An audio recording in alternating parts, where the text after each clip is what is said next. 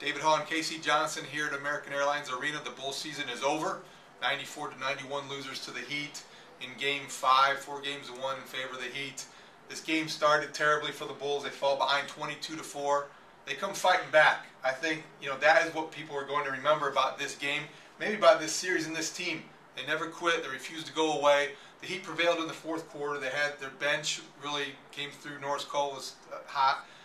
Dwyane Wade came through. LeBron had a quiet 23. But the season's over.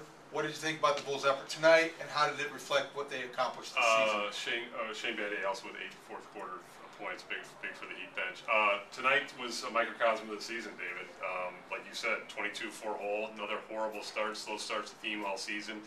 But this team always overcame adversity and showed a lot of resiliency in times of trouble fought back to take an 11 point lead and had a chance on the final possession to tie the game. Both uh, Nate Robinson and Jimmy Butler missing game time three pointers in the final possession. So just coming up short. I thought the most telling post game quote, and there were a lot of them, was Tom Thibodeau was asked the difference between the Bulls and the Heat, and he said, "quote Right now, health."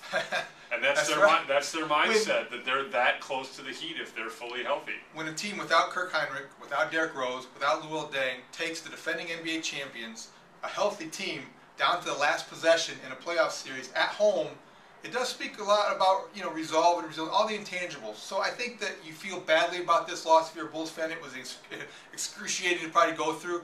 How do you feel bad about this team because of what they overcame in this postseason? Well, exactly. And a lot of post-game talk about Derrick Rose. Derrick declined to talk to the media, but a lot of uh, Carlos Boozer and Joakim Noah both talking about what Derrick will bring to this team next season. And that, obviously, that's a pretty good offseason addition, adding a former league MVP and number one. So, assuming he comes back at a high level, which everybody assumes at this point is going to happen, you know, this team feels like it'll be right there again next season. A couple quick things people will be talking about tomorrow. Carlos Boozer, 26 and 14, finally showed up big time in this series in the paint. Also, Rip Hamilton, 15 points in 35 minutes. Bye bye, Rip.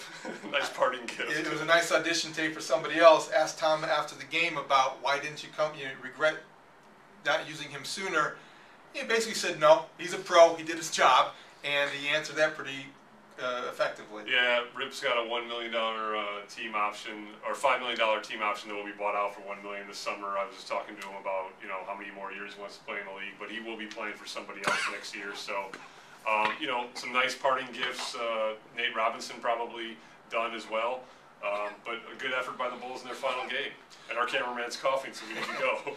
it's all over here in Miami. The Bulls losers 94 to 91. The season's over. We'll be checking in in the off season for K.C. Johnson. I'm David Haugh.